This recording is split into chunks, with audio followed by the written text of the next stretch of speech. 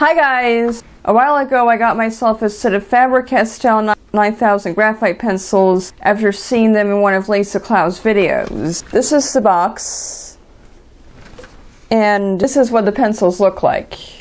This this set only goes up to a 2H, which at first con concerned me because I didn't think it would get light enough. But I was wrong. 2H Faber-Castell is actually more like a 6H in other brands that I've used. I'm going to have a picture come up of a line of 2H in the graphite, I mean 2H in the Faber-Castell, and 2H in a brand called ProArt.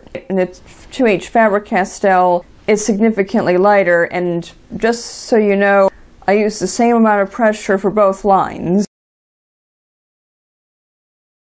So the 2H is actually so light that it took three attempts to get that picture because I kept having to see the line through my camera lens and I kept having to, to put my finger down where the line was and use my finger to tell me where to shoot. 4H in this brand is particularly dark. I'm going to have to be careful with that one. To do an entire drawing using only these pencils, which is this one, but I ended up having to use my Wolff's Carbon pencils and my Koh-i-Noor 9000 Jumbo Woodless pencil because the Faber-Castells alone weren't giving me the range I was looking for.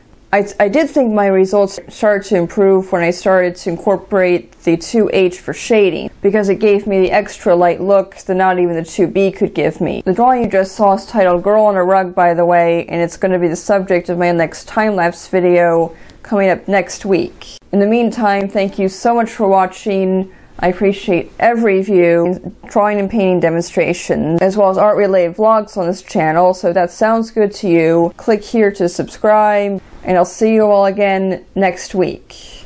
Bye!